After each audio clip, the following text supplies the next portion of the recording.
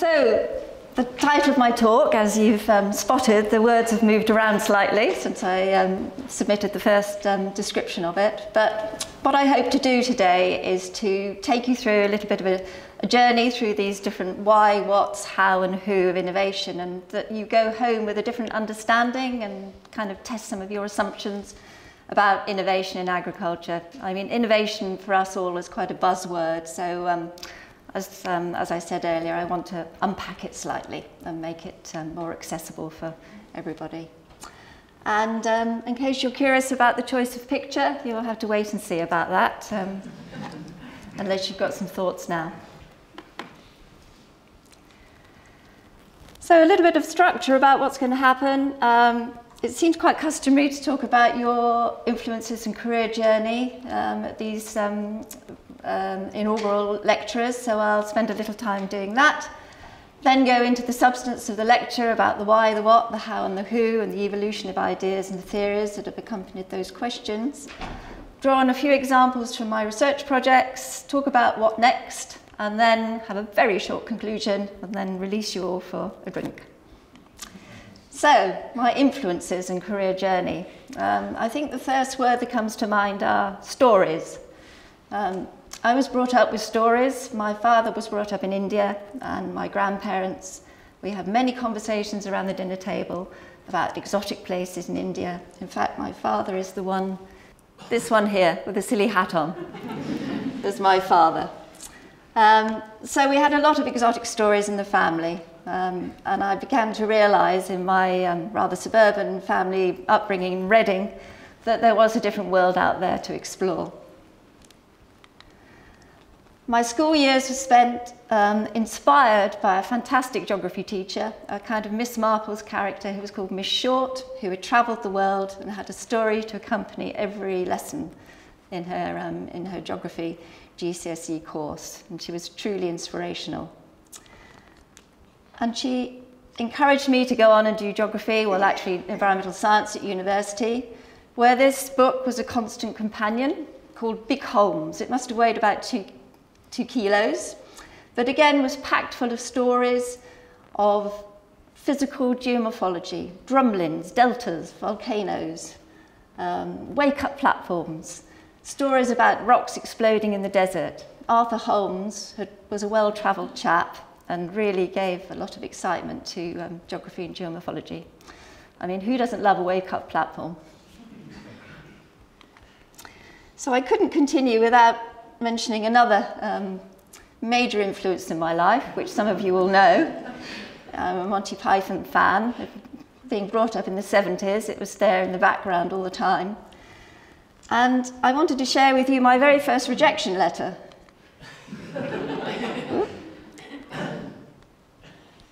From the producer of Monty Python.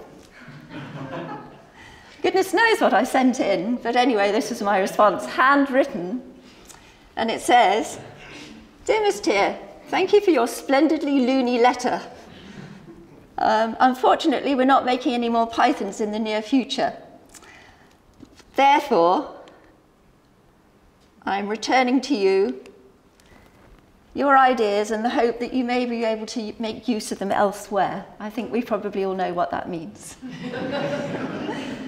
Anyway, I've kept this letter. I've had many other rejections since, but I haven't kept those. so, thinking about a career journey, uh, there's a hint here that maybe I was interested in um, soil augering implements earlier on. Um, it wasn't straightforward, it wasn't a conventional A to B. It was very much um, a lot of distractions and trying different things along the way. But I eventually ended up doing um, a natural environmental science degree at Sheffield, one of the first in the country, and then went on to do a soil survey and pedology masters at Reading University, thinking this might be my ticket to go travelling around the world and work overseas. And indeed, that was the case. So having graduated from Reading, my first job was in Swaziland, where I worked for the Commonwealth Development Corporation on a uh, sugarcane estate. And here's a picture of me. I had my own truck, my own team to dig holes for me. So there was a lot of looking down holes. The idea was to grow as much sugar cane as possible. It was a big commodity crop for Swaziland. And to map the soils and to work out where the deficiencies were, where the irrigation requirements were. So there was a, a year or so there.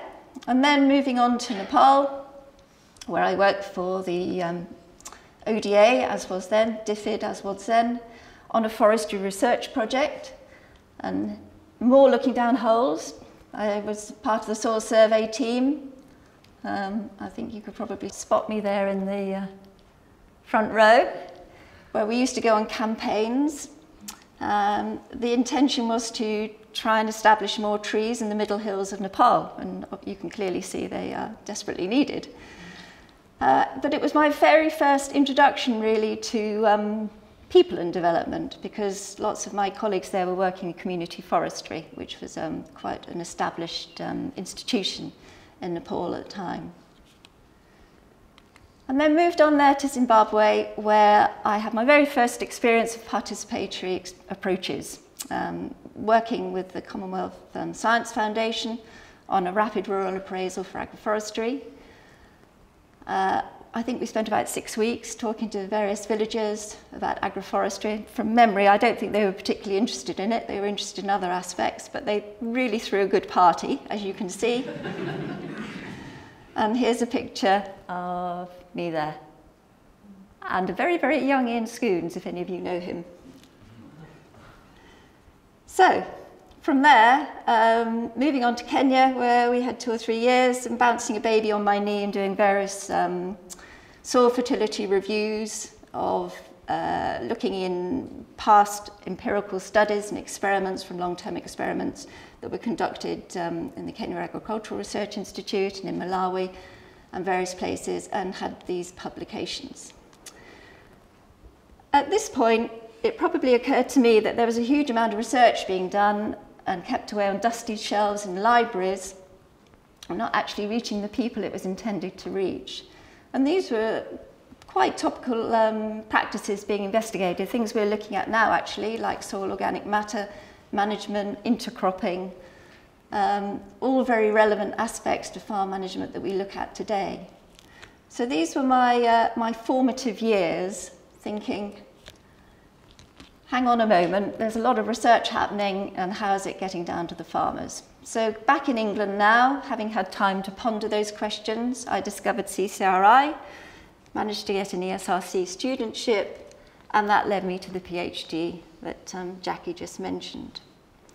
It also immersed me in academia, rural sociology, which was terrifying at the time, um, and introduced me to the concept of agricultural knowledge and innovation systems, which really has been a framework of um, my work ever since.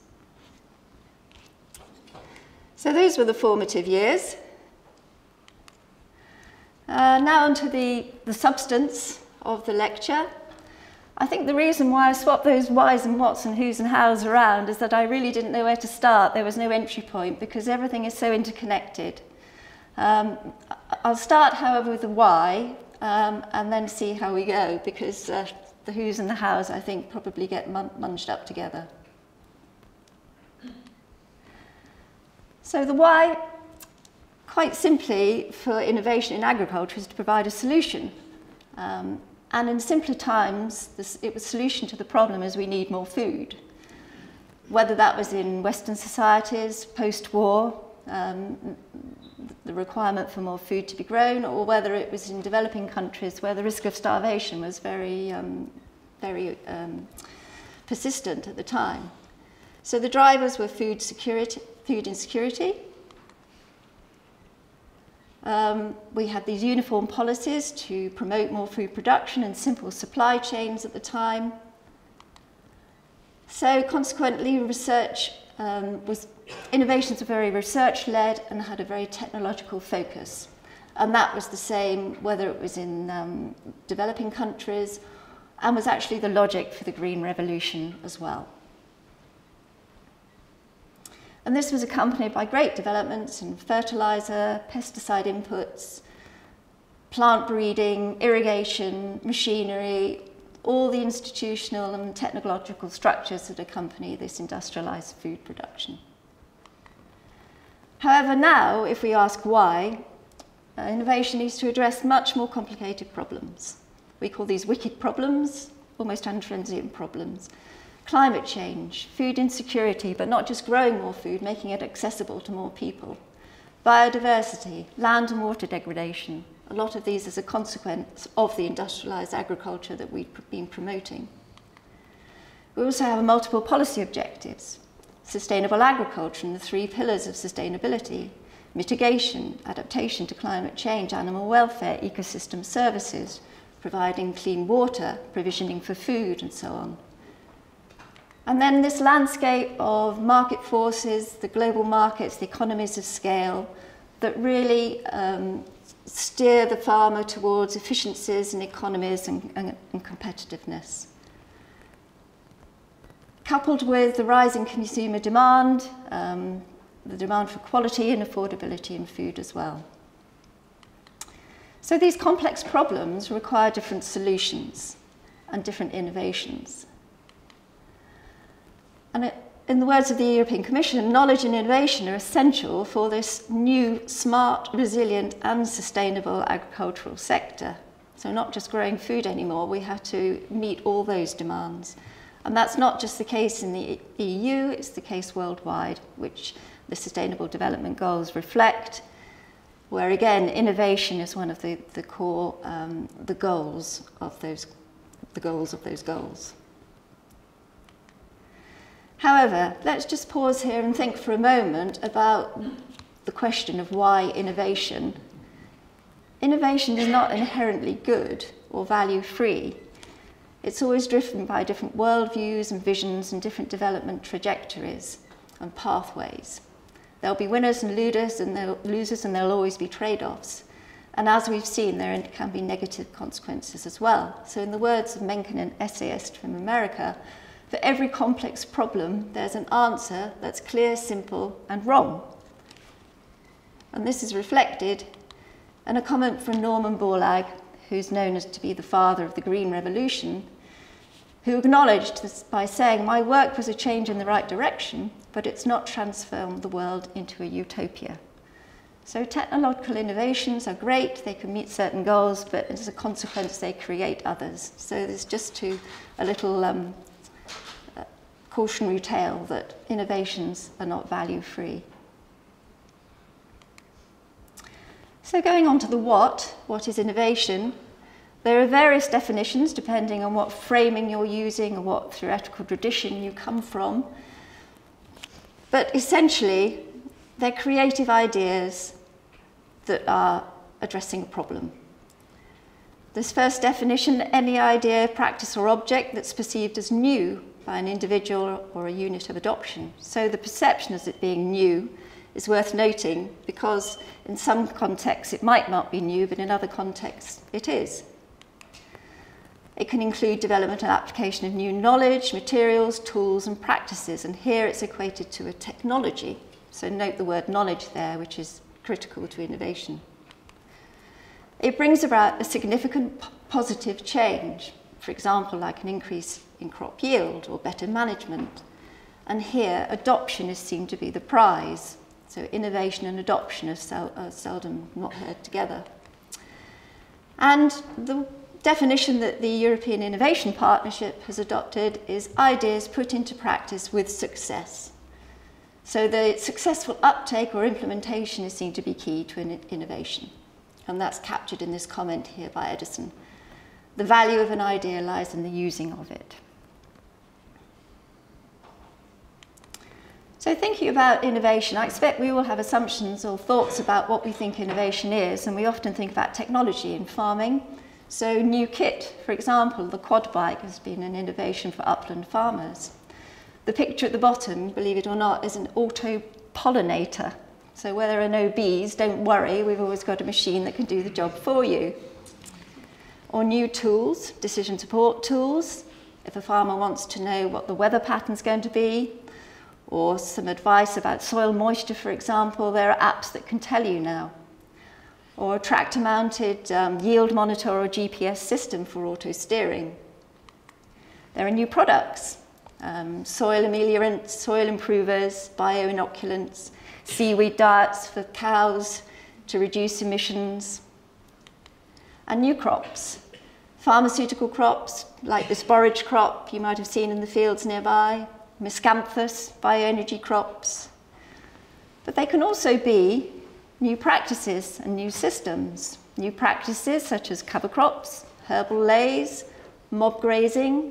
If you listen to the archers, no doubt you've heard some of these mentioned.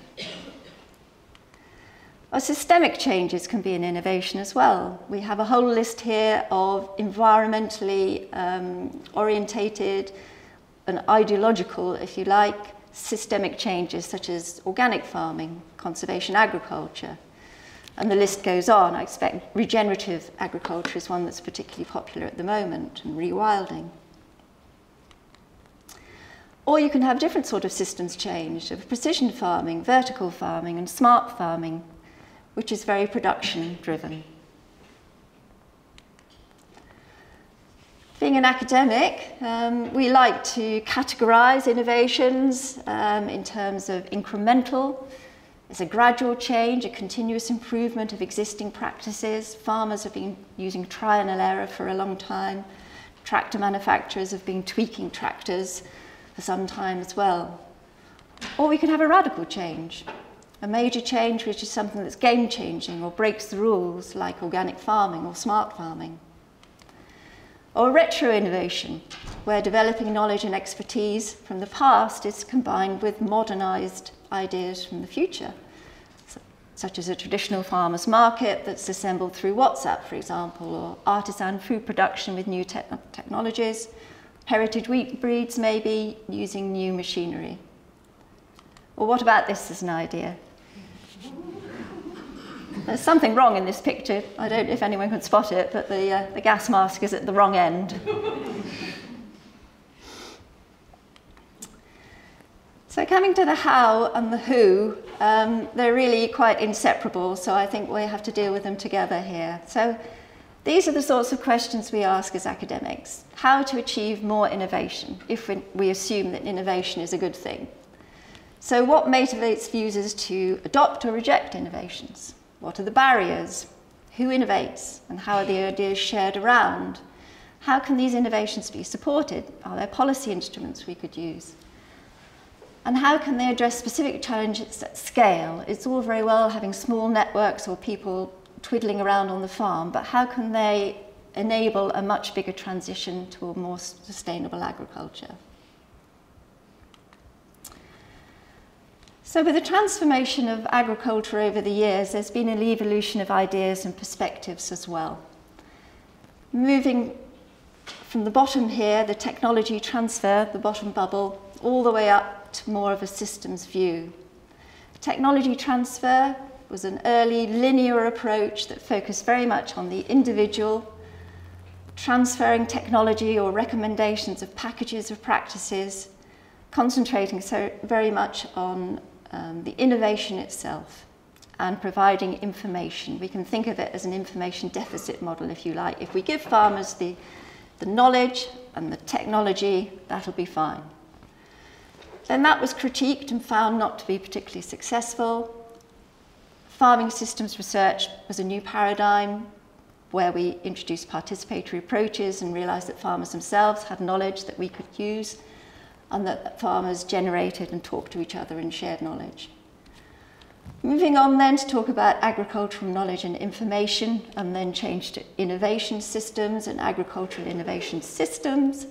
These are organizational frameworks, if you like, to help us understand how those different knowledge flows around. And knowledge and innovation are key here. So as we move up this embedded layer of circles, we move from a focus on transferring information around to trying to build capacity and knowledge to really thinking about how we can instill learning. And then at the very top, we get to what's called the socio-technical systems, where we really zoom out from the individual and even the farm and think about the much wider system and the, um, that enables those innovations to emerge and to be shared and to be embedded and institutionalized. And as I say, this was in, in answer to um, a growing complexity in the agricultural landscape as those wicked problems and those different imperatives on farmers and the farming community grew stronger. And this has been accompanied by different ideas and theoretical thoughts about how innovation happens and spreads. Um, this seminal um, book by Rogers, first published in 1962, but actually formed from ideas in the 40s in Iowa in America, where there are large studies of um, the spread of hybrid corn amongst Iowa farmers.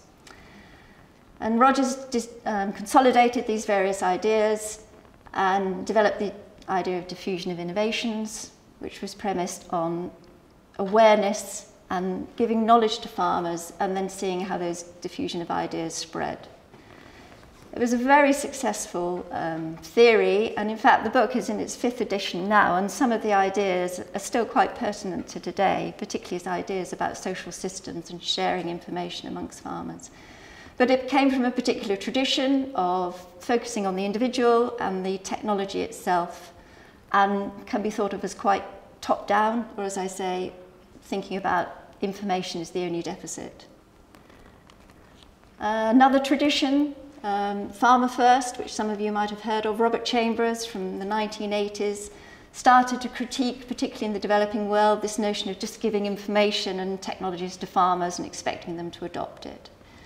And farming systems grew out of that. So this notion of having more of a bottom-up approach to innovation, um, encouraging social learning, encouraging participatory approaches between researchers and farmers and extension workers more as a partnership.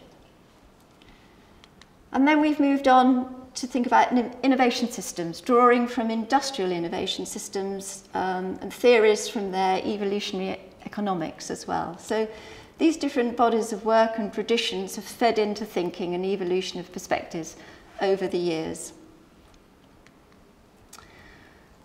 Thinking about these earlier behavioural studies then, with the focus on the individual and the um, technology, the question really was then, why won't farmers adopt? What are the barriers? We've given them all the information, we've given them the technology, you know, what's, what's going on? Um, and a lot of um, behavioural studies have looked into this question and tried to explain innovation and adoption in terms of various factors. But it became quite apparent that farmers weren't behaving in a rational way. They weren't acting as um, rational decision makers or optimizers, but they were what Simon called satisficers. Uh, and that no single factor could explain individual adoption. There are a lot of pertinent factors, but nothing in particular. And as Vanclay says, there's no such thing as a barrier to adoption. There's just only legitimate reasons for non-adoption. So as I said, a lot of behavioural studies have looked into various factors that explain adoption, the uptake and the rate and the diffusion and so on, thinking first of all about demographic factors, education, farm size, age of farmer, thinking about extrinsic motivations, economic motivations of course are very important, but also thinking about the intrinsic motivations, the attitudes, the values and the identity. But then it became apparent that community and society were also equally important. Farmers are embedded in their own cultural um, their communities, they have cultural norms, they have habits they developed, and they respond to social pressures as well. At the same time, they're restrained in their um, adoption of innovations by whether they own the farm or not, or whether they have to pay rent, what kind of infrastructure they've got whether they, um, they're rich in capital, whether they have debt, what their labour capital is, and where they are in the farm life cycle as well, whether they're about to pass on their farm to a son or whether they're just starting afresh in farming. And also where they are in terms of their knowledge system, if you like, what their peer-to-peer -peer exchange is, where they get their advice from, and what their social system is. So it became apparent that it was quite hard to predict how farmers behave when it comes to innovations and whether they will adopt them or not. And this is captured quite nicely in this picture of an Amish community in America. I mean, who would have predicted this? that they would have adopted the mechanical baler but not the tractor. So there's a lot of cultural, um, religious traditions, family traditions and values there, and economic imperatives explaining that. So adoption has been critiqued, particularly the linear technology version of adoption has been critiqued over the years. Um, the Rural, Rural Sociology Journal, um, Agriculture Extension, Education and Extension, and more recently FAO's work in innovation, have really emphasised that the farmer as the user of the technology has to be involved in the research system and it has to be part of a collaborative network to succeed. Because we know that farmers generate their own knowledge and share it between them. External innovations were never particularly relevant for small farmers, small-scale farmers. Adoption rates have often been low, Farmers have been disempowered by being um, part of a, a system they're locked into with high inputs. And also a realization that innovation itself is not a simple on-off switch, it's not a technological device or package, it's much more than that. It's about learning and adaptation, and it's a complex process. We've also come to realize that farmers are not particularly homogenous. We can't just talk about a farmer. They're very um, heterogeneous. So we've moved on, if you can think back to those circles, to the middle circle now, and think about innovation as a more networked activity.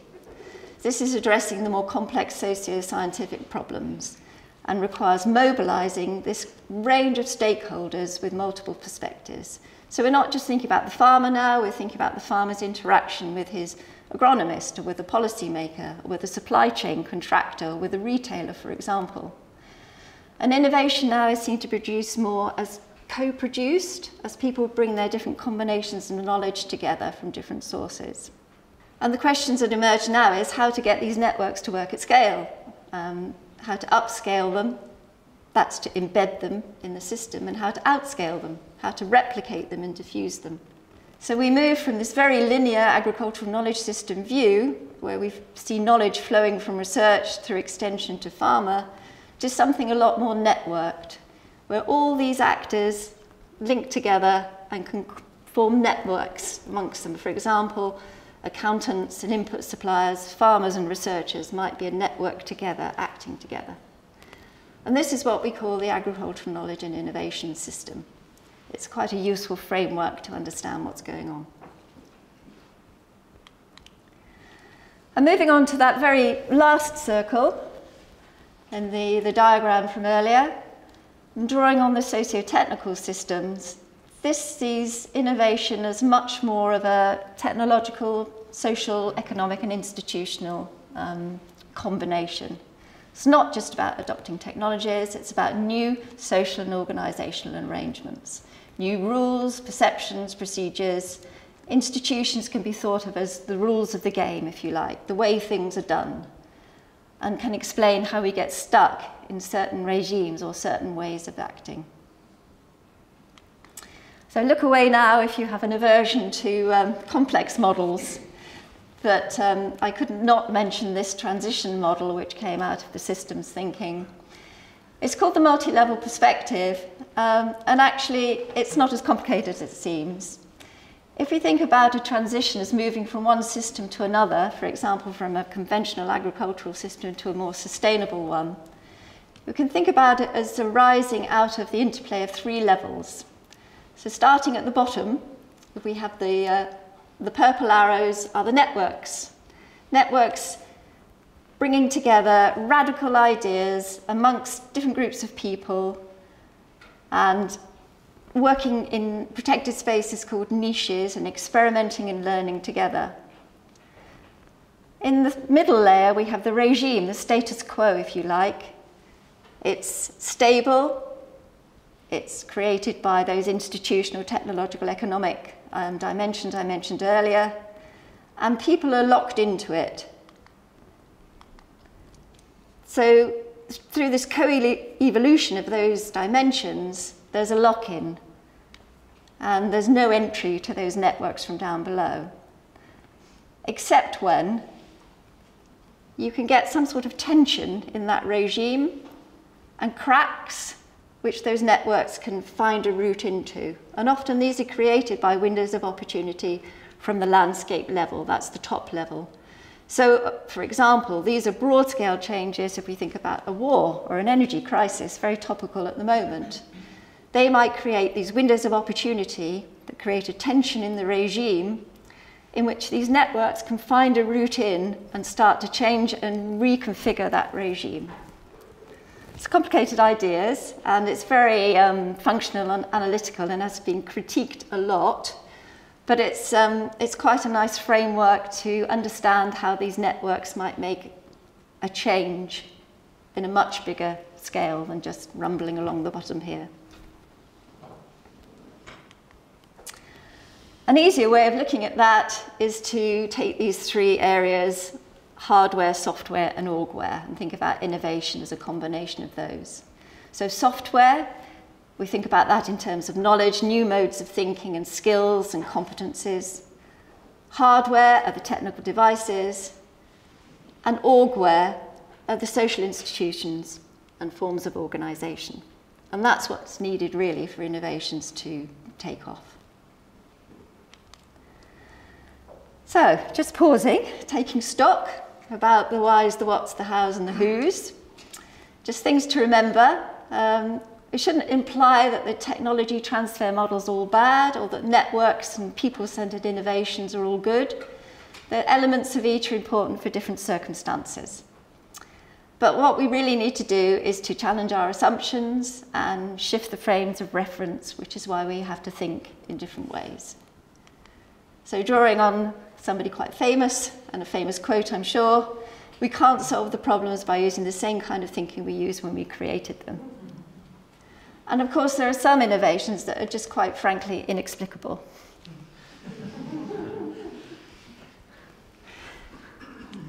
Okay, so I'm going to give you a few examples now from my research. Um, I, well, I'll say my research, but actually all my research has been in, done in teams with my colleagues from CCRI. So um, from our research and the sorts of questions we ask in our projects. The same questions I mentioned earlier. What motivates users to adopt and reject innovation? What are the barriers? How are these ideas spread around? What kind of peer-to-peer -peer learning is there? How do farmers themselves innovate and experiment? How can innovations address specific challenges at scale? And how can they be supported with policy, for example? And how can they lead to wide-scale transitions? How can we bring about a transition to more sustainable agriculture? The sorts of approaches we use, um, participatory approaches often involve stakeholder engagement. Um, we talk about co-innovation, where we work together with farmers or agronomists, um, retail um, representatives, for example, in the field co-design, where there's a genuine um, co-design of technologies from the very beginning, citizen science, and then the sorts of methods we use within those approaches, interviews, um, workshops, focus groups, or serious games, for example. Here's a selection of some European projects I've been involved with where we've answered some of those questions or tried to answer some of those questions and looked at different aspects of knowledge and learning. These have been interdisciplinary projects. They're bringing scientists and stakeholders together and often our role at CCRI is to enable that to happen. I've worked in a number of um, soil-related projects where we've looked at soil improving practices, at looking at soil carbon management and decision support tools, and more recently, as Jackie said, looking at plastic pollution in soil as well. In the Valerie project, we looked at translation of research activities and carried out co-innovation exercises with case studies across Europe. In AgriDemo, we were looking at peer-to-peer -peer learning in um, research activities across Europe as well. In UK projects, we've worked with all these organisations, again looking at farmers' um, behavioural aspects and motivations. For example, what are their motivations for joining agri-environment schemes? We've looked at several iterations of agri-environment schemes over the years to answer those questions. Currently working with um, different universities across UK to look at how perennial biomass crops could be upscaled to meet the targets that the government has set. So there we're looking at not only the, the farmers' um, personal motivations for growing those crops, but also at the system and how it enables them to be um, grown at scale across the country. And we've also worked with innovative farmers and the Soil Association evaluating their farmer field labs, where farmers are working together to solve problems themselves. We've also had the opportunity to work on some international projects recently. An OECD fellowship took me to Indonesia and Australia, where I worked with climate smart agriculture and um, looking particularly at farmers' experimentation. So farmer-centric experimentation and what that can reveal in terms of um, battling climate change and adaptation. And had the opportunity to do some uh, British Council-sponsored researcher links workshops in Kazakhstan, Egypt and South Africa. So from all those examples, it's quite hard to find one or two that can, um, I can share with you now. But the first one I thought I'd talk about, which actually goes back to some of my PhD research, was the transition towards non-inversion tillage. to plough or not to plough. So ploughing has a huge cultural significance in this country um, it's very functional. It's been very effective in creating a seed bed, burying weeds. Farmers take great skill and pride in a nicely ploughed field. It's a very skilled occupation. Ploughing matches happen every year um, around the country where people are judged by their tidy butts and other characteristic and criteria. However, it's hugely um, fuel and energy um, consuming and labour consuming, and also by turning the soil over, oxidizes the soil organic carbon. So there's a loss of carbon there. So since the 90s or so, in this country at least, a community of practice of farmers have been experimenting with minimum or reduced tillage, um, zero tillage, conservation agriculture, or regenerative agriculture. There are different um, combinations of those depending on how much you disturb the soil. But the essence of it is you don't turn the soil over. You don't expose the soil to oxidation. You save a huge amount on um, fuel and labour, and that works particularly well with very large fields and farms where there's maybe one or two um, farmers left or labourers left on the farm to do the work. So those were the early motivations for farmers to experiment. Um, there were no machines at the time, and often they tinkered around in their, in their garage and created their own. Or some of them were Nuffield scholars and had gone to New Zealand or South America or North America and seen these machines and were importing them back again. But as time went on, they realized there were huge soil health benefits as well. Soil organic matter really grew, earthworm populations, soil biology really, was really enhanced by these activities. So this information was shared around the community. There was a lot of experiential knowledge. There was very little support from any of the advisory community because the advisors themselves didn't have the opportunity to, to practice this themselves. And there was a lot of criticism from their neighbouring farmers who looked over the fields or over the fences and tutted about the untidy fields and the messiness because there are a lot of weeds and it really doesn't look particularly nice. So there was this community that was building and sharing information over the years and slowly emerging. Um, and this is something I wrote about, um, I think in 2010, about the social and technical dimensions of this farmer learning. And then about three or four years ago, my PhD student, Camilla, did some social network analysis where she was able to go and interview, in this case, zero-till farmers and talk about their influences and who their social network, who, who they networked with, who they got information from, who was most influential. The blue dots are the farmers that were interviewed, and the other coloured dots are their linkages, like academia, um, agronomists, supply chain people. The depth of the, of the line indicates um, how influential the link is. So some of these farmers have their own knowledge systems, if you like, out on the limb here. This chap here has no mates at all. These people in the middle are really influential and well connected. And these are the ones that have been doing it for some time. They're the champions, if you like, the, the passionate um, no-tillers, the sort of person that the other farmers will turn to for information. And this is a really nice um, visual description of what's going on. It's a snapshot in time because these networks change over time as people on the edges become more confident and move into the middle and themselves become influencers. But I think it portrays quite nicely how some farmers are, are particularly influential and can lead this community. And Camilla published this paper in Agricultural Systems about the role of social networks. And as the um, community has grown, um, the imperatives have grown as well to save fuel and to meet carbon climate targets um, and um, think about soil carbon. The extent of minimum tillage has grown across the country as well, with estimates of more than 50% now of arable land in England having some form of minimum tillage or no tillage happening on it.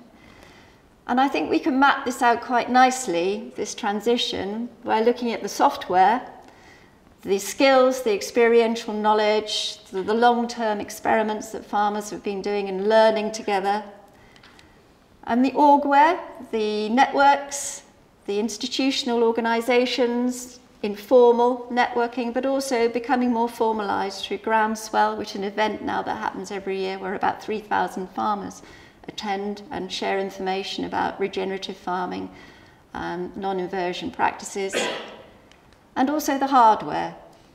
Whereas before there were very few drills available, now there are more than 12 on offer in this country.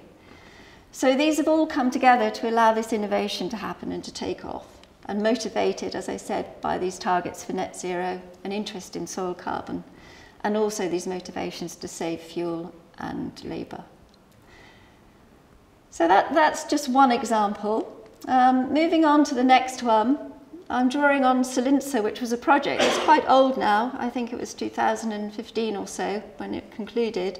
A European funded project that looked how, how deep changes could be made in the socio-technical systems to achieve sustainable agriculture. So thinking about transitions and going back to these networks of actors and how they experiment together at the local level and how they can become sources of radical innovation, these niche, if you think back to that um, diagram. And these solutions that they propose, they deviate from and they're often resisted or stopped by the prevailing regime, the, the conventional food system, if you like. So in Solinsa, we looked at 17 different sorts of networks, just a few examples here. Um, in Switzerland, networks of institutions, advisors and farmers who are aiming to optimize their own fodder production and minimize inputs from outside and exports as well. In the Netherlands, for example, we looked at care farming, the different networks of farmers and policymakers from the health and the farming uh, sector and how they could connect together. In Latvia, we looked at the growth of biomass on farm as well by bringing together these different um, actors in the network. And we looked at different characteristics of those networks as well. So taking you back to this diagram again, our networks were rumbling along here at the bottom. So if you think about these um, networks here, they're rumbling along here all the time. Some of them won't work at all, they'll drop off. Some of them will manage to make a change in the regime here. And the changes in the regime are enabled because we have these tensions. We have consumer preferences for certified food now. We have policy incentives that allow biomass, for example, and um, biogas to be developed in Latvia. And at the same time, we had these landscape changes which created windows of opportunity that to create and allow these tensions and therefore allow these networks to emerge. And our particular role here was to look at the interactions between the niche and the regime and question this very analytical framework and give some theoretical considerations to that and think about more of the personalities and the people involved and the sorts of processes that were going on. Because whilst this is a, a beautiful um, functional analytical um, framework, it doesn't exactly explain what's going on in the networks, the personalities there, the linkages and the anchoring that's going on in the regime itself. So we were able to make some theoretical contributions in publications, but also, quite importantly, some policy contributions at the EU level. So these learning and innovation networks were actually quite foundational for the operational groups which came out of the European Innovation Partnership a few years ago, which were supported by the second pillar of the, um, of the CAP. So it's nice to know they have some influence. And then finally, to talk about what direction next. It's quite hard now to pick up Farmers Weekly or pick up a journal without reading about the fourth agricultural revolution, the digital revolution, if you like. So agriculture has been thought of in terms of agriculture one, two, three, and four, where one was early mechanization, two was post war, mechanisation, and three, the Green Revolution. So digital revolution can involve um, GPS tractors, satellite imagery, sensors. It can lead to a fully automated farm, and that's what we call smart farming. And we've been looking um, together with colleagues at the implications of digital farming for the farming community because as a revolution, revolution this is going to have quite um, significant consequences, whether they're going to be positive or negative has um, been a topic of conversation.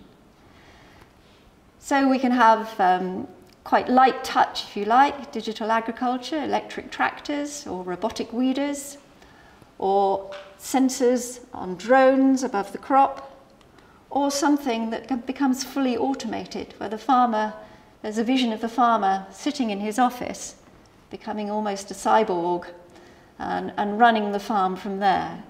So there are clearly implications of this um, in terms of knowledge, not only for the farmer himself, losing his experiential and tacit knowledge of how to run the farm and his own decision-making control as well, but also those that surround him, the advisor, for example, will have to rethink their professional identity. Um, and the farm family and all sorts of other relationships and power relationships that the farmer has. And we were able to conduct some work using a prioritisation exercise with stakeholders across the UK, um, asking what were their priority research questions for digital agriculture. Uh, we had about 195 questions submitted from 45 or so stakeholders across the UK and analysed these into seven themes. I haven't got time to go into them now, but of the priority questions, there are a few examples here that reflect the kind of concerns that people have at the moment about where digital agriculture might be taking us. So for example, how can data sharing be underpinned by a governance system which takes account of ethical concerns? So ethics is a really key concern here because of the data capture and the commercial um, interests of large companies.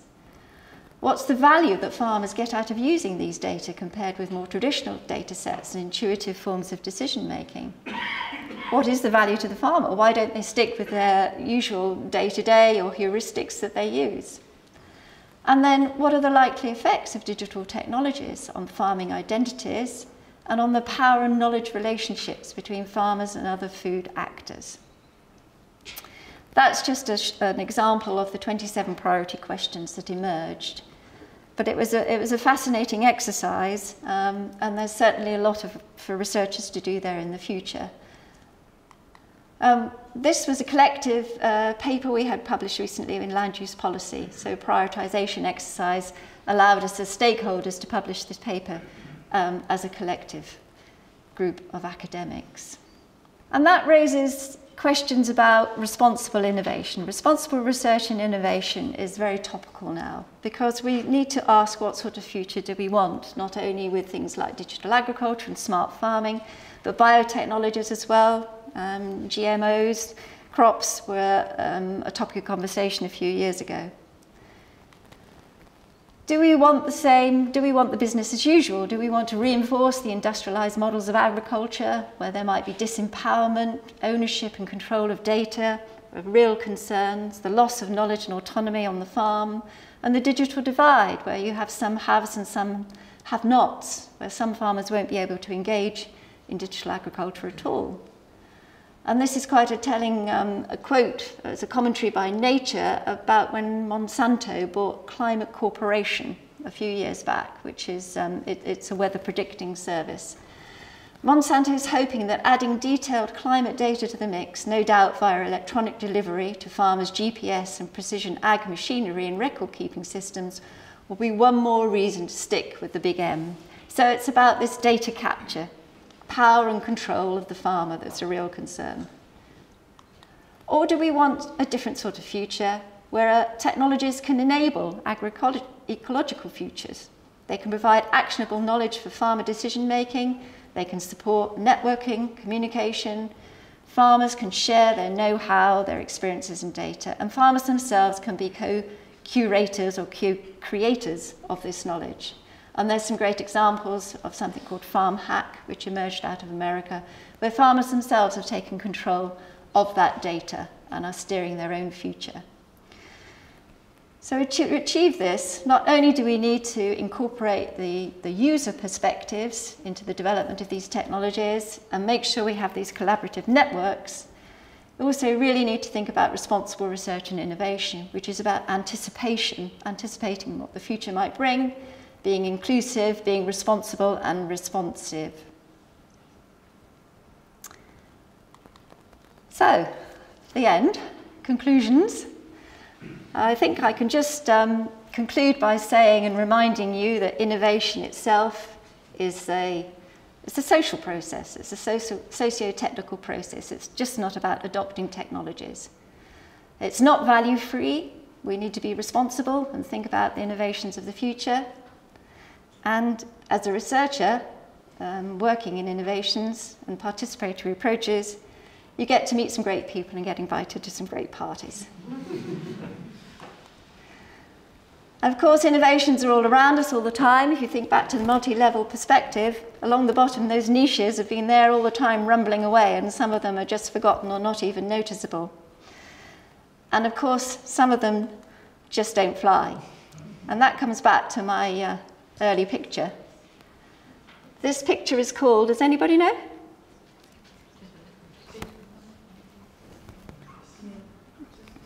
It's the fall of Icarus in the landscape. So if you um, look very closely, you'll see a pair of legs here, where Icarus has dived into the sea. And the point being made is that life goes on as normal. Lots of things are happening around you and you don't notice these different activities going on. So we don't notice all the innovations that are there that are cropping up and then failing in the background. So it just leaves me to say um, thank you very much for my support team, CCRI. This is a very old photograph and I apologise to those who aren't in it. And in particular, the family.